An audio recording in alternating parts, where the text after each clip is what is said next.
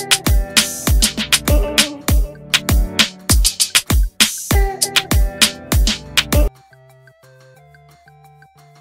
ตตี้ภรรยาเอสกันตพงศ์ขอบคุณคุณหมอที่ช่วยชีวิตสามีแฟนๆ ยังคงติดตามอาการป่วยของพระเอกหนุ่มช่อง7เอสกันตพงศ์บำรุงรักอย่างต่อเนื่อง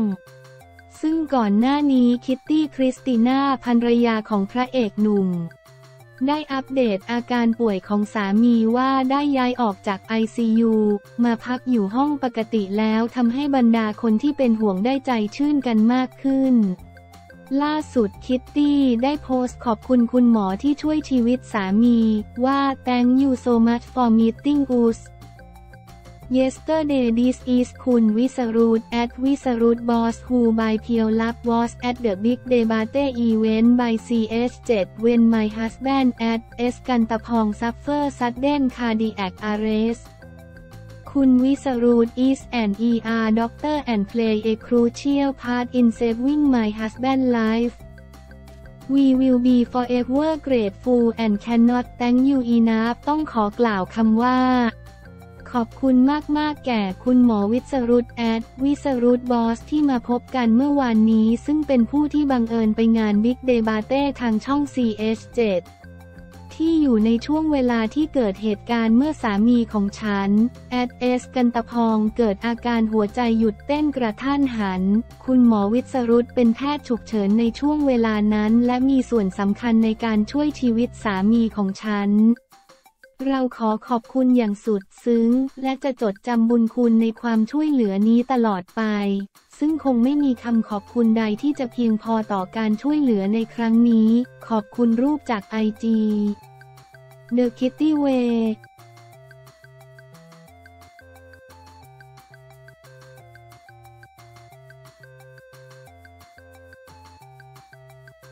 ใบเตยตัดผมสั้นแล้วช็อกรู้ข่าวแฟนน้องชายเสียชีวิต ใกล้จะได้เจอหน้าลูกนั่งภาวนาจิตสวดมนต์อุทิศให้แฟนน้องชาย ใบเตยตัดผมสั้นแล้วช็อกกลางเรือนจำรู้ข่าวแฟนน้องชายเสียชีวิตใกล้จะได้เจอหน้าลูกวันที่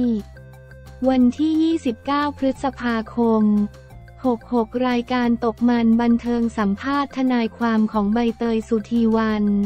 ซึ่งขณะนี้นักร้องสาวถูกคุมขังอยู่ที่ทันทสถานหญิงกลาง เปิดเผยว่าใบเตยตัดผมสั้นเรียบร้อยแล้ว และยังต้องกักตัวอีก 10 วัน หลังจากสารนัดสอบปากคำเพิ่มทำให้ต้องกักตัวอีก 10 วัน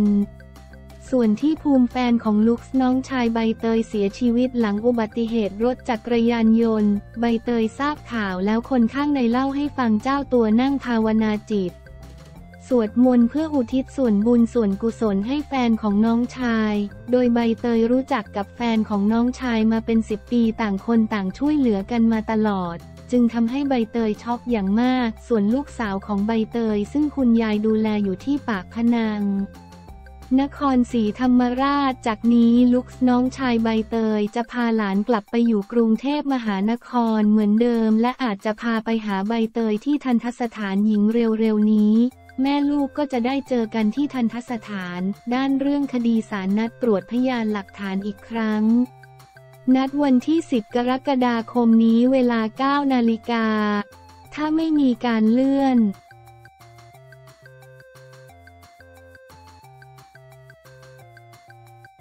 สุจิราเจอศรรามรักครั้งเก่าอุ้มลูกมาด้วยเซอร์ไพรส์วีจินุ้ยมีสิ่งบังเอิญตรงกันจนตกใจมิตรภาพดีๆ นุ้ยสุจิราเจอหนุ่มศรรามรักครั้งเก่าย้อนรู้จักกันครั้งแรกชมฝ่ายหญิงยังเหมือนเดิม ความดีนับไม่ถ้วน อุ้มลูกมาด้วยเซอร์ไพรส์วีจินุ้ยมีเรื่องบังเอิญตรงกันจนตกใจไม่เคยมีภาพของทั้งคู่ร่วมเฟรมหรือร่วมงานกันมาก่อน อดีตคู่รักดังในตำนานนุ้ยสุจิรากับหนุ่มสอนราม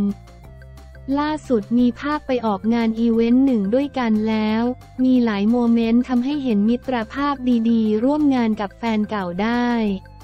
โดยหนุ่มสอนรามยังไปออกรายการที่นุ้ยสุจิราเป็นพิธีกรร่วมกับมอดปฏิพานเพื่อนซีหนุ่มสอนรามด้วย ในรายการแม่ซาปาตลอนนอกจากมานั่งเมาส์มอยย้อนความหลัง โดยเฉพาะกับมอดสนุกสนานแล้วยังเมาส์มอยเรื่องการเลี้ยงลูก ถามถึงภาพที่หนุ่มสอนรามเจอนุ้ยสุจิราครั้งแรกหนุ่มชมว่าเขาเหมือนเดิม ตัวเขาเป็นคนสนุกสนานร่าเริง แต่เรื่องงานเขาจะรับผิดชอบดีที่รู้จักกันมาเขาเป็นคนดี เอาความดีเขามาพูดนับไม่ถ้วนเลย งานนี้พ่อหนุ่มยังอุ้มน้องวีจิมาออกรายการด้วยพร้อมทั้งบอกมอด ว่ามีสิ่งหนึ่งที่พี่มอดยังไม่รู้วีจิเกิดวันที่ 8 เมษายน คุณนุ้ยสุจิรา เขาเกิดวันที่ 8 เมษายน มอดถึงกับเซอร์ไพรส์บอกว่าบังเอิญมาก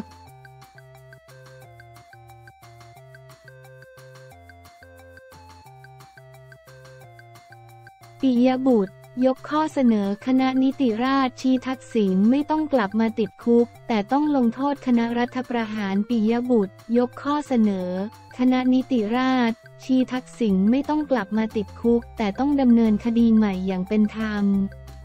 พร้อมลงโทษคณะรัฐประหารเศษ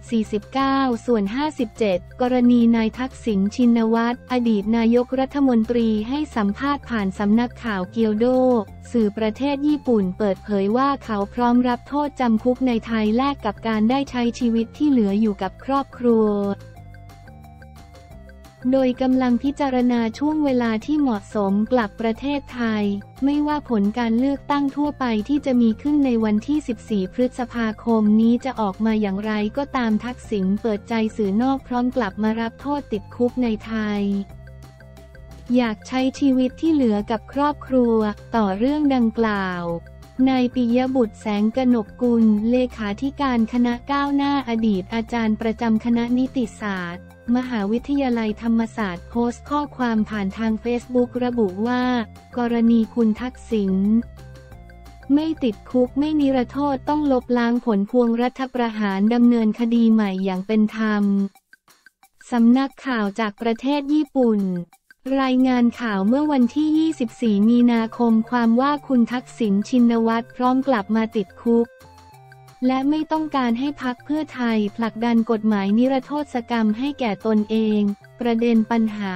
กลับบ้านของคุณทักษิณอยู่ในสังคมไทยมาเกือบสองทศวรรษ เมื่อไรที่มีการเลือกตั้งเมื่อไรได้รัฐบาลใหม่จากขั้วเพื่อไทย ก็จะมีผู้หยิบยกประเด็นนี้ขึ้นมาเสมอ หากใครได้ติดตามการแสดงความเห็นของผมตั้งแต่ปีเศษ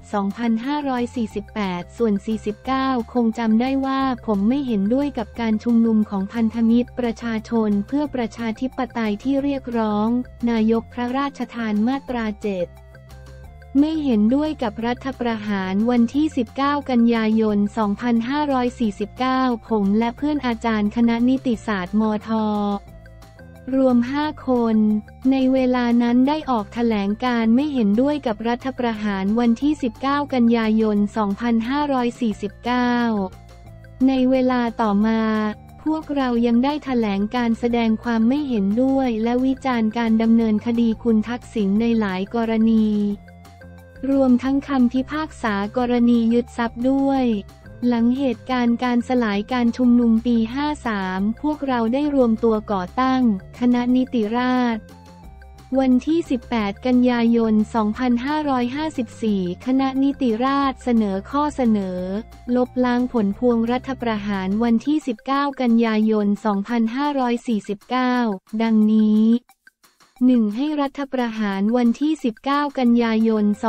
2549 และการกระทำของคอปอคอตั้งแต่วันที่ 19 กันยายน 2549 ถึงวันที่ 30 กันยายน 2549 เป็นโมฆะ2ให้รัฐธรรมนูญ 49 มาตรา 36 ซึ่งรับรองให้การกระทำทั้งหลายของคณะรัฐประหารชอบด้วยรัฐธรรมนูญและกฎหมาย ตกเป็นโมฆะ ทำให้การกระทำทั้งหลายของคณะรัฐประหารถูกโต้แย้งได้ว่า ขัดรัฐธรรมนูญและกฎหมาย 3. ให้รัฐธรรมนูญ 49 มาตรา 37 ซึ่งนิรโทษกรรมคณะรัฐประหาร ตกเป็นโมฆะทำให้การนิรโทษกรรมรัฐประหารวันที่ 19 กันยายน 2549 เป็นโมฆะสิ้นผลไปเหมือนไม่เคยเกิดขึ้นมาก่อน เมื่อไม่มีการนิรโทษกรรมการรัฐประหารทำให้การรัฐประหารเมื่อวันที่ 19 กันยายน 2549 ยังคงมีความผิดฐานกบฏในราชอาณาจักร ตามประมวลกฎหมายอาญามาตรา 113เจ้าหน้าที่ในกระบวนการยุติธรรมย่อมสามารถดำเนินคดีเอาคณะรัฐประหารมาลงโทษได้ 4. ให้คำวินิจฉัยสารรัฐธรรมนูญคำพิพากษาสารดีกาแผนกคดีอาญาของผู้ดำรงตำแหน่งทางการเมือง ที่เป็นผลต่อเนื่องจากรัฐประหาร 19กันยายน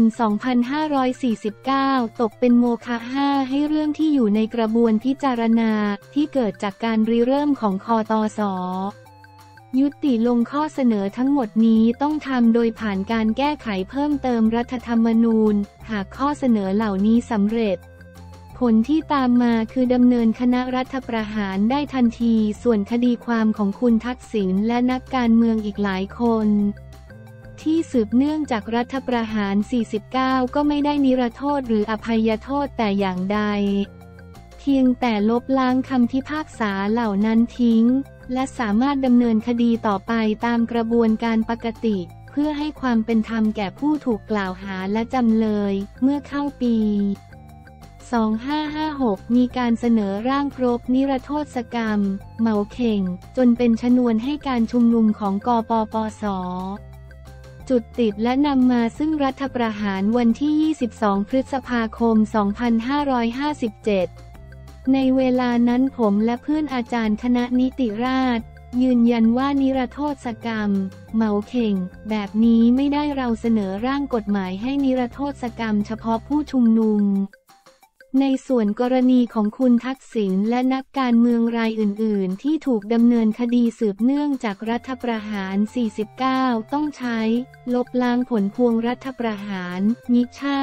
นิรโทษกรรม ข้อเสนอทั้งหมดนี้ไม่ถูกนำไปปฏิบัติทั้งจากรัฐบาลยิ่งลักษณ์ทั้งจากรัฐบาลประยุทธ์เมื่อข้อเสนอของเราไม่ถูกฝ่ายการเมืองนำไปใช้ ก็เหลืออยู่ทางเดียวคือลงมาปฏิบัติเองนี่เป็นมูลเหตุสำคัญหนึ่งที่ทำให้ผมตัดสินใจลาออกจากอาจารย์ประจำคณะนิติศาสตร์มท และมาก่อตั้งพักอนาคตใหม่ด้วยความตั้งใจว่าจะเข้าไปมีอำนาจเพื่อทำข้อเสนอเหล่านี้ให้เป็นจริง วันนี้ประเด็น ทักษิณกลับบ้านกำลังถูกหยิบยกขึ้นมาอีกครั้ง ผมยังคงยืนยันตามเดิมว่าการดำเนินคดีคุณทักษิณ โดยใช้องค์กรและกระบวนการที่เริ่มต้นจากรัฐประหารวันที่ 19 กันยายน 2549 ไม่เป็นธรรมต่อคุณทักษิณผมเห็นว่าจนถึงวันนี้คุณทักษิณไม่ต้องติดคุก และเช่นเดียวกัน ก็ไม่ควรมีการตรากฎหมายนิรโทษกรรมให้คุณทักษิณด้วย แต่หนทางที่ถูกต้องเป็นธรรมต่อคุณทักษิณและยืนอยู่บนหลักการก็คือลบล้างผลพวงรัฐประหารวันที่ 19 กันยายน 2549 ตามข้อเสนอคณะนิติราษฎรที่เสนอไว้เมื่อ 12 ปีก่อนคุณทักษิณไม่ต้องติดคุก ไม่ต้องนิรโทษกรรมคุณทักษิณดำเนินคดีกันใหม่อย่างเป็นธรรมเอาคณะรัฐประหารเศษ 49 ส่วน 57 มาลงโทษ